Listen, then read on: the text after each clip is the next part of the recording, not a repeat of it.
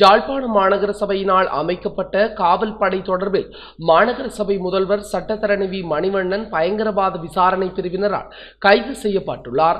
இன்று அதிகாலை இரண்டு மணியளவில் ஜாழ்ப்பாணம் போலீஸ் நிலையத்தில் வைத்து கைது செய்யப்பட்ட சட்டத்தரணி வி மணிவண்ணன் மேலதிக விசாரணைக்காக வவுனியாவுக்கு அழைத்துச் செல்லப்பட்டுள்ளார். ஜாழ்ப்பாணம் மாநகர ஆணையாளர் மாநகர சபை உறுப்பினர் பரதராஜா பார்த்திபன் ஆகியோர் வழங்கிய வாக்குமூலத்தின் அடிப்படையில் முதல்வர் சட்டத்தரணி வி மணிவண்ணன் பயங்கரவாத விசாரணை பிரிவினரிடம் ஒப்படைக்கப்பட்டுள்ளார். அத்துடன் ஜாழ்ப்பாணம் மாநகர சபை முதல்வர் சட்டத்தரணி விஸ்வலிங்கம் மணிவண்ணன் மாநகர சபை உறுப்பினர் பரதராஜா பார்த்திபன் இருவரும் நேற்றிரவு எட்டு மணிக்கு ஜாழ்ப்பாணம் போலீஸ் நிலையத்துக்கு அழைக்கப்பட்டனர். இருவரிடமும் இன்று அதிகாலை இரண்டு மணி வரை வாக்குமூலம் பெறப்பட்டது. அதன் பின்னர் முதல்வர் சட்டத்தரணி வி. மணிவண்ணன் பயங்கரவாத விசாரணை பிரிவினரிடம் ஒப்படைக்கப்பட்டார். இலங்கை போலீசுக்கு ஒத்ததாக ஜாழ்ப்பாணம் மாநகர காவல்படை அமைக்கப்பட்டுள்ளது என்று போலீசாருக்கு முறைப்பாடு வழங்க வழங்கப்பட்டது தமிழீழ காவல்துறையின் சீருடையை ஒத்த சீருடையை அணிந்திருந்தனர் என்று முறைப்பாட்டில் தெரிவிக்கப்பட்டிருந்தது.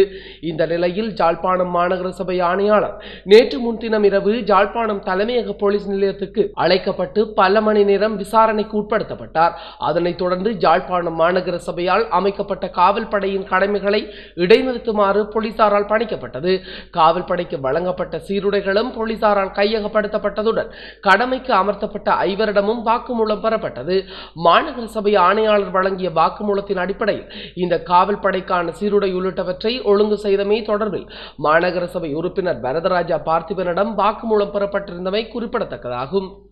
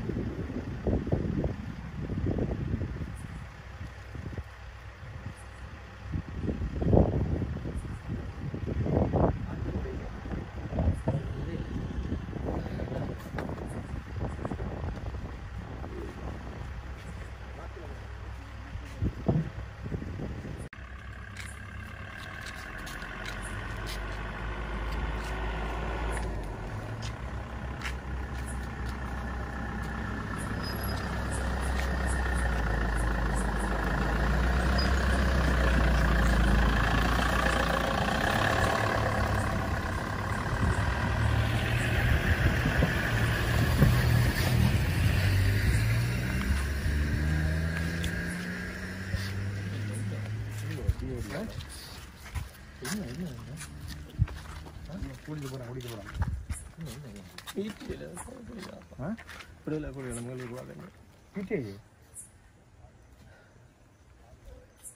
என்ன வந்து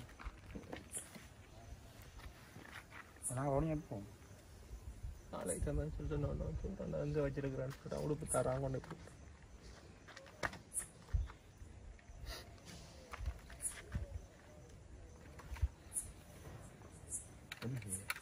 போய்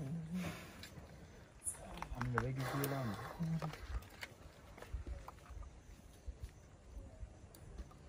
விஜய் போட்டாச்சு ஆ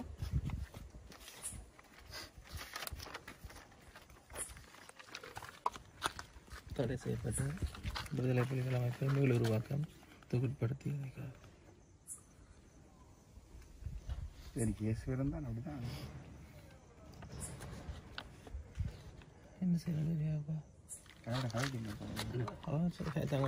டிஃபென்ஸ் மினிஸ்ட்ரியிலேருந்து வேறு பா பொறுப்பெடுக்க உடனே கொண்டு வந்து எடுத்து நாங்கள் இழந்துட்டு ஏறிக்கா வந்துட்டு போகிறோம்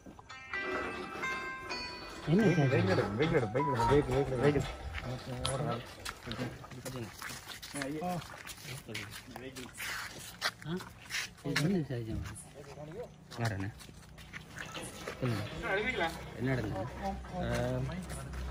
இன்று மதி இன்று இரவு எட்டு மணி போல் ஒரு வாக்குமூலம் ஒன்றினை பெற்றுக்கொள்ள வேண்டும் என்பதன் என்ற அடிப்படையிலே மாநகர முதல்வர் மணிவண்ணன் அவர்களையும் என்னையும் போலீஸ் நிலையத்துக்கு அழைத்தார்கள் இரண்டு கடந்த ஆறு மணி நேரமாக ஆறு மணி நேரத்துக்கு மேலதிகமாக இருவரையும் வெவ்வேறு இடங்களில் வைத்து வாக்குமூலம் பெறப்பட்டது. பின்னர் அந்த வாக்குமூலத்தினுடைய அடிப்படையிலே மாநகர முதல்வர் மணிவண்ணன் அவர்கள் டிஐடியினரால் கைது செய்யப்பட்டார். அவர் மீது கு- சுமத்தப்பட்டுள்ள குற்றச்சாட்டு அவர்கள் தந்த பத்திரத்தின் பிரகாரம் கைது பத்திரத்தின் பிரகாரம் இலங்கையிலே தடை செய்யப்பட்டுள்ள விடுதலை புலிகள் அமைப்பை மீளுருவாக்கம் செய்வதற்கு முனைந்தமை தொடர்பாக என்ற என்ற குற்றச்சாட்டின் அடிப்படையிலே அவர் கைது செய்யப்பட்டு சற்று நேரத்துக்கு முதல் அஹ், வவுனியாவுக்கு கொண்டு செல்லப்படுகின்றார். இது தொடர்பாக மேலதிக விவரங்கள் எதுவும் தெரியவில்லை. நாளைக்கு நாளைக்கு தான் இது பற்றி அனைத்து விவரங்களும் தெரிய வரும் என்று நான் நினைக்கின்றேன். உங்களோட விசாரணை அடிப்படையில் உங்களுக்கு என்ன சொன்னாங்க? என்னுடைய எனக்கு என்னுடைய கேட்கப்பட்ட கேள்விகளின் பிரகாரம் என்னத்திற்காக இவ்வாறான ஒரு போலீஸ் படை அமைக்கப்பட்டது என்று அப்போ நான் அதனை முற்றுமுற்றாக மறைத்திருந்தேன். இங்கு போலீஸ் படை என்று எதுவுமே அமைக்கப்படவில்லை. இது மாநகரத்திலே காலகாலமாக மாநகர சபை ஆரம்பித்ததிலிருந்து மாநகர கட்டளை சட்டத்தின் கீழ் விதிக்கப்படுகின்ற அரச வர்த்தக மானியிலே பிரசுரிக்கப்பட்டிருக்கின்ற தன் தண்டப்பணங்களை அறவீடு செய்கின்ற வளமை ஒன்று இருக்கின்றது.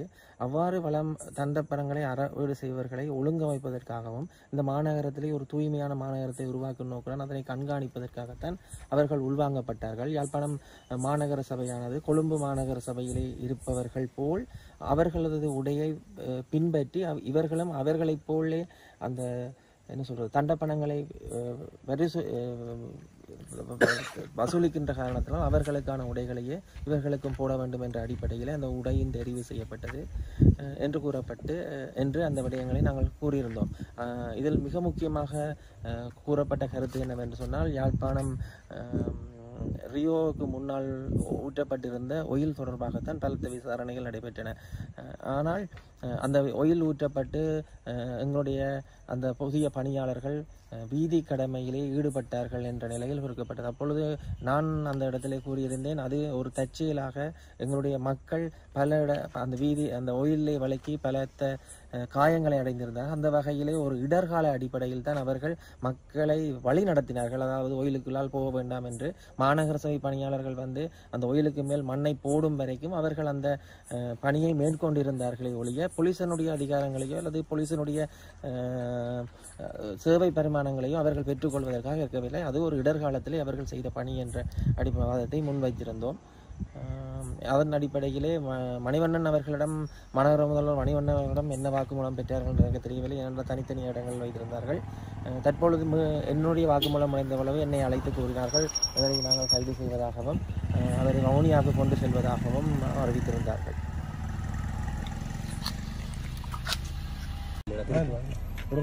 தான் அடிக்கிறாங்க.